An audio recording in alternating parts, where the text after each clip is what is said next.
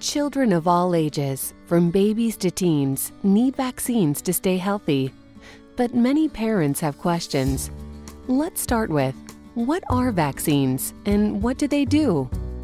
Vaccines, also called immunizations, build protection in the body against germs that cause dangerous diseases.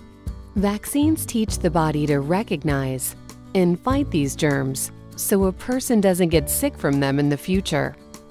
Many parents ask, haven't most of these dangerous diseases disappeared?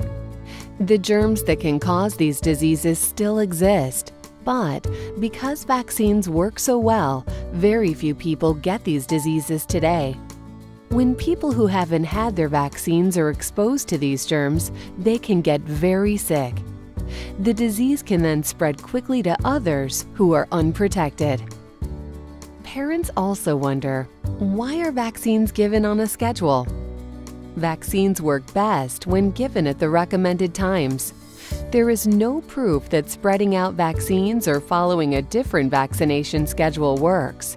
It just leaves your child unprotected against serious diseases for a longer period of time. A big question is Are vaccines safe? Vaccines are a safe and easy way to keep your whole family healthy. Every vaccine is researched and tested for years. You may also want to know, can getting several vaccines at once harm my baby? Studies show that getting several vaccines in one visit doesn't cause any harm. The immune system can easily handle more than one vaccine at a time. So, what about side effects?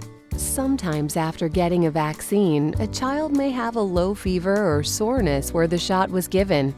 Serious side effects are very rare.